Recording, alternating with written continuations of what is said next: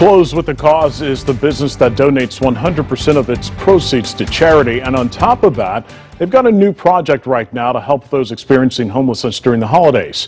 Our Eric Pointer joins us now from our newsroom this morning with today's Pay It Forward. Eric, how can people help with their holiday project?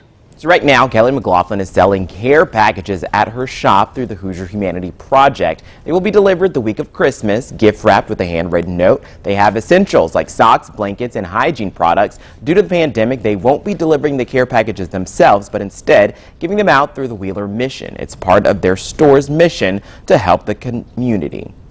Anybody can be a part of making their community stronger by kind words, kind actions, making a purchase here at the store, and knowing that it is going to go right back out into the community. It's not something that we're going to pocket like some other retailers do. This project is going on as founder Kelly is battling cancer. She was diagnosed this past October. But if anything, it was just a renewal of my commitment to make sure that, like,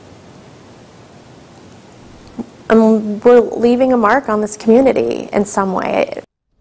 The store is also still donating all of its profits this month to the Big Brothers Big Sisters program. Kelly just completed her first round of chemo and radiation. Now, if you're interested in supporting the store or buying one of their care packages, you can do so at either of their location in Carmel or on Mass Ave, and we've got that information posted on our website. In the newsroom, Eric Pointer, Fox 59 News.